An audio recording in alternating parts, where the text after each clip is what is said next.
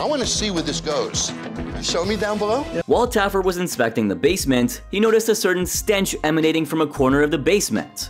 And well, what he found will leave you feeling nauseous.